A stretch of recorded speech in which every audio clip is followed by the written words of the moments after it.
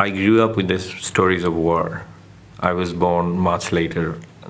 The war ended between Bangladesh and Pakistan. It happened in 1971.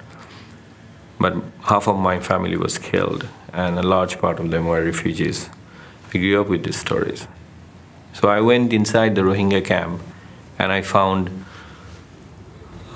something that I've never seen before. I'm sure other photographers have seen it, but I haven't seen it in my life. And that very moment, it was not the Rohingyas, to be honest. It was my mother, it was my family. Those memories came back. And I walked through the aisles, uh, the life, you know, it's very difficult there. And I felt touched. I felt that I should do something here. The Rohingyas are mostly in Bangladesh, uh, but a large, um, most of them are in Bangladesh.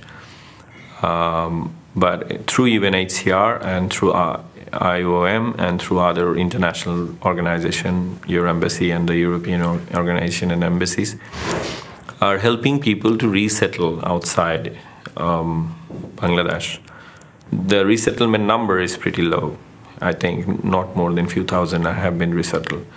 But I, I found it's very interesting to follow these people and you know they they don't know how to speak in English.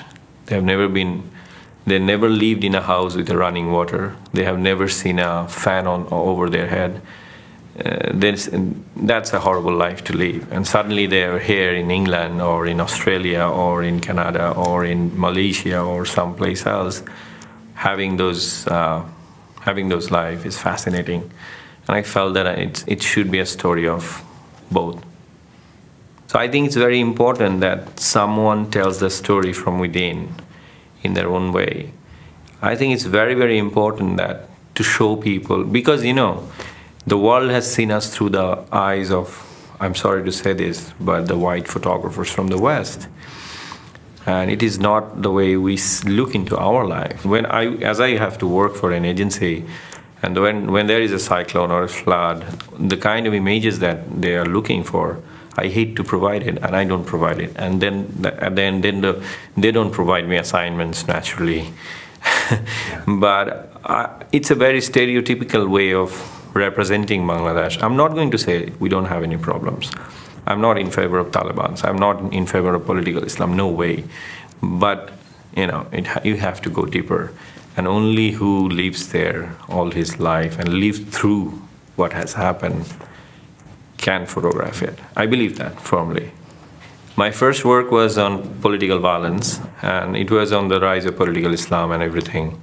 And um, unfortunately, the government that was in power back then was very much part of it. They were the people who were bombing people. It's a complicated story. In the middle of the project, I received a phone call in a weekend from the NGO. Because many of my very good friends work there, they called me up and say, how much you have got, you know, there was an entire fund. I said, I don't remember, maybe 40% or 60%. And how much is there, like rest? Then come tomorrow and take the check and don't work anymore. I was in the middle of it. It was a long, two year long project, and I was very, very shocked.